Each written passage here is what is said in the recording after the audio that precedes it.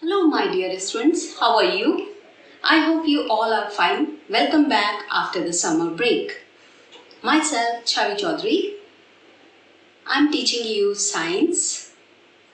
Today we will start lesson number 4. I think you all have seen lesson 1, 2, 3 videos. Go through it and now let's get started. Lesson number 4. Okay, lesson number four. Name of the lesson Insect. As you can see here, so many pictures of insects are here. Okay, can you identify these? Yes.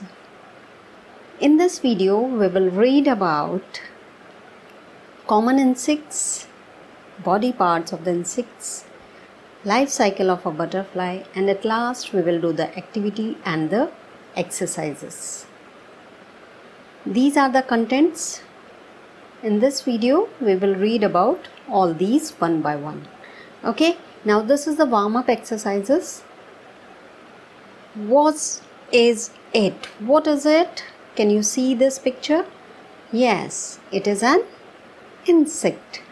Where do you find these type of insects? You know very well some insects you can see in your garden and some in your houses. Do they live as single or in groups? Some insects live as single and some of the insects live in groups. We will read next one common insects. Okay, here are some pictures of the common insects you have already seen in your houses. They are the tiny animals with six legs. How many legs they are having? Six. They form the largest group of living organisms on the earth. Some insects creep or crawl on their legs, but most of them have wings to fly. Example cockroaches, ants, mosquitoes, houseflies, termites, these all are found. Some insects such as like butterflies as you can see in the picture, moth, wasp, bee, ladybirds, grasshoppers, these all you can find outside your home. So we can find that some insects you can see inside the home and some of the insects you can find in the garden where you can play and where you can go to walk okay? Here and there you can see some common insects. Some more common insects are also there so you can see the picture of that. You are i think you all are having the book so please read and go through the lesson again and again. Okay. Next one body parts of an insect. Most of the insects have common body parts. Their body is divided into three body parts. How many body parts? Three body parts. And they are first is head, second is thorax, third is abdomen. Okay? These three parts as you can see in the picture head is the front part of the body which is round and that one is the smallest part of the body. It has one pair of eyes a pair of antenna and a mouth. Okay? That means in head part three things are there one pair of eyes, one pair of antenna and a mouth. And you can see so many parts there. Okay, head is there, thorax is there, abdomen is there. Okay, now we will read one by one. Next one, next part of the insect is thorax. Thorax is the middle part of the body. As you can see, it is mark also there this part of the body bears three pair of legs and one or two pair of wings behind the thorax is the abdomen. Okay, next after thorax, what will come? Abdomen. It is the largest part of the insect body. Some insects have stingers at the back of their abdomen, but some are having the small types of holes are present. Small holes are present on either side of the abdomen. They are called spiracles. Okay, insects breathe through these spiracles. Okay, as you know that you can breathe through your nose. Same way, insects also breathe through the spiracles. And spiracles are the holes present on the body of the insect. Yes these are spiracles and these are present on abdomen. These two parts thorax and abdomen.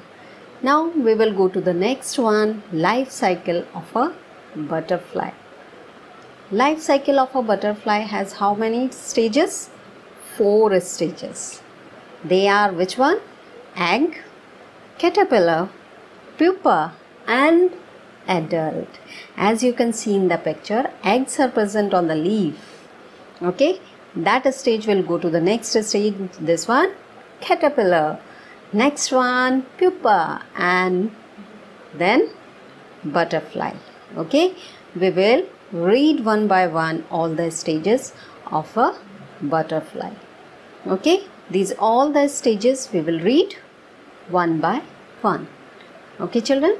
And you have to read the book. Okay. Read that lesson again and again. First stage the butterfly lays eggs on the leaves. Each egg hatches into a caterpillar or larva second stage a caterpillar undergoes several changes before becoming an adult. It feeds on leaves of mulberry. Okay. Third stage, a caterpillar grows in size and becomes inactive and cover itself with a protective layer. As you can see in the picture, that stage is called pupa. The protective layer is called cocoon. And the fourth and the last stage of the butterfly is the cocoon breaks after a week and a beautiful butterfly comes out of that cocoon. Okay, that one breaks and a butterfly comes out, and again that adult butterfly that gives eggs on the leaves. Okay, as you can see in the picture, here is a cycle. Okay, now here is pictures are here. Well, in the first picture you can see here eggs caterpillar pupa and butterfly. These are the three four stages of the butterfly. And here's in second picture you have to label yourself. Write the name of that. Yes life cycle of a butterfly. You have to label it. Okay first one what is it? Yes egg. Second one caterpillar. Now try to do it yourself. Next one metamorphosis. Okay the process of changes from a young form of an adult that is called metamorphosis. So it is a process that changes from young one to an adult insects such as grasshopper and cockroaches have three stages in their life cycle. They have three stages, but butterfly has four stages.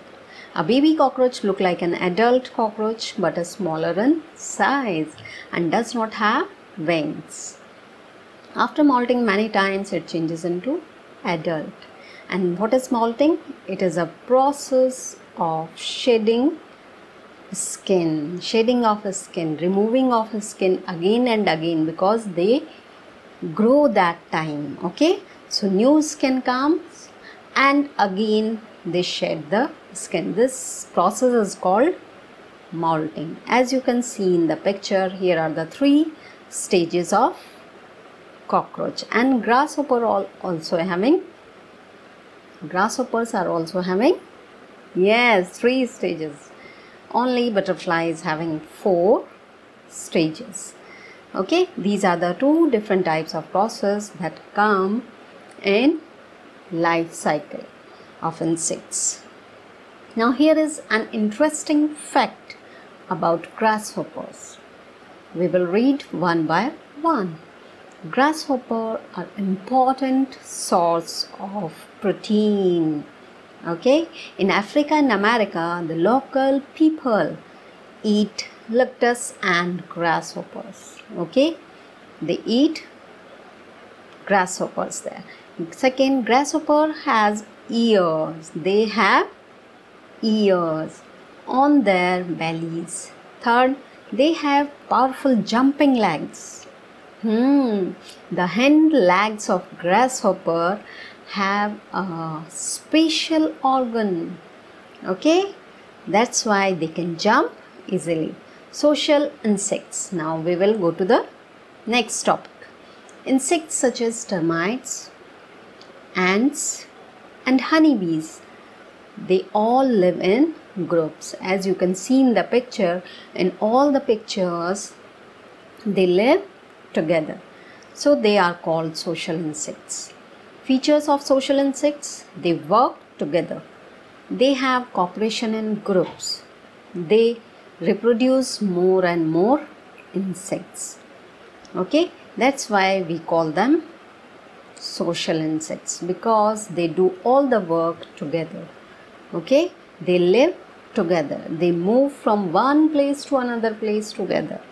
Okay, and they are having cooperation habit okay now these are the features of social insects. Some social insects examples are here. One by one we will read about them. First one honeybees. They build their hives and that is called bee hives and where they make? They make on trees the queen bee lays eggs in the hive.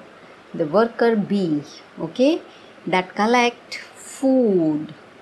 They collect the food and make their honeycomb. Honey is stored in hive as you can see in the picture and they used as food. All the bees work together and stay together. As you can see in the picture also here two types of bees are here queen bee and worker bee okay? Queen bee only they lay eggs okay? Now next one next social insect is ants. They live in an ant hill. Look their picture. All ants live in ant hill. Like bees, ants also work together because they are social insect. The worker ant work outside to gather food and protect their ant hill. You must have seen a line of ants moving towards the sweet. It shows their togetherness and cooperation because they are social insect they also do work together okay worker here also worker and move outside. Then termites. Next step termites. Termites also live in colonies. They live in colonies. They make their colonies in place such as dam furniture and fallen trees. They basically feed on wood. They are useful in cleaning forest as they eat dead and decaying trees. Okay, but sometimes they damage the wooden furniture also.